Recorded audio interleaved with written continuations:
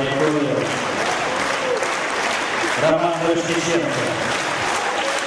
И самое главное, что они получили удовольствие не меньше играть друг с другом, чем вы, которые слышали и слушали сегодня. Валерий.